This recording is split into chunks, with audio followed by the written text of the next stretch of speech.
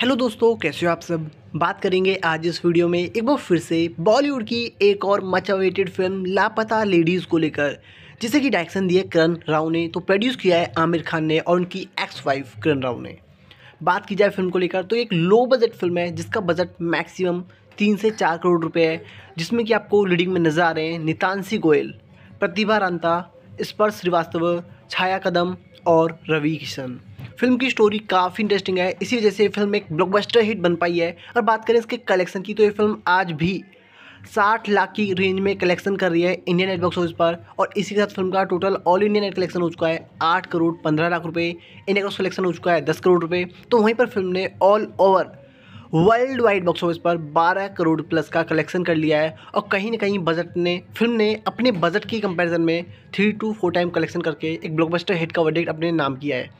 ऐसे में आप लोगों ने लापता लेडीज़ देखी तो आपको फ़िल्म कैसी लगी? आपकी राय क्या है फ़िल्म को लेकर? कमेंट सेक्शन में मैंसर करना मत भूलिएगा। वीडियो आपको पसंद आई हो लाइक करना शेयर करना। चैनल पर नए हो सब्सक्राइब करना। Thank you bye take care keep supporting